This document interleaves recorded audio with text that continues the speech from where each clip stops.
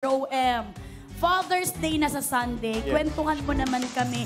Kamusta ang iyong two-year-old son na si Gido? Gido. At saka syempre pati na rin si Elijah. Kamusta naman Ah, sila? ah, masaya naman sa house. Ah, right now, in-enroll namin si Eli, si Elijah sa basketball camp.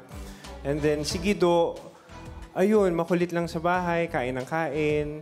Tapos, nung isang gabi, kagabi lang, yes, nalaman namin na magaling siya mag sipa-sipa ng bola. Ah, soccer, football. Tama, na Wow. football. Yes. So, for a two-year-old, nagulat lang kami ni Meme na kaya pala ang lakas niya manipa. Ah!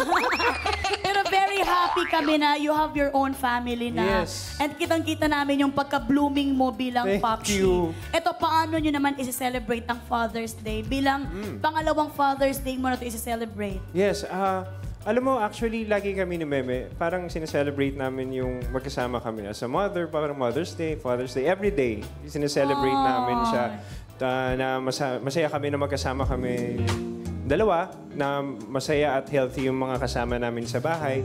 Pero yes, for tomorrow uh, or on Sunday, ano lang, dinner lang siguro. Ah, at simple dinner. Alam mo, ang pinaka-importante naman ata sa atin lahat, yung basta magkakasama, masaya, kumakain, okay na yun lahat. Daw, gusto ko lang mag-add ng tanong and Yes. konti na.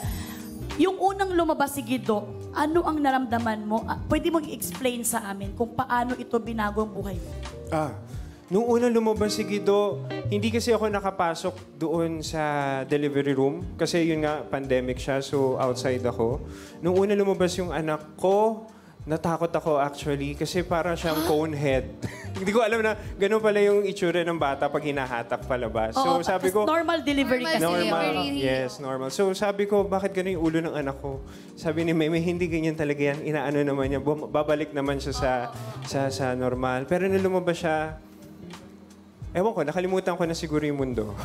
Ay. nakalimutan ko yung mundo. Sobrang saya ko nung nakita ko siya. Sobrang, Siyempre, natatakot kami at that time kasi pandemic. So, alam mo yun, so, yung lahat ng pag-iingat ginagawa namin lahat. So, Oo. Kaya nga hanggang ngayon, two years ka na talagang very busy, very hands-on. Yes. One, two, three, four. We're ready for more.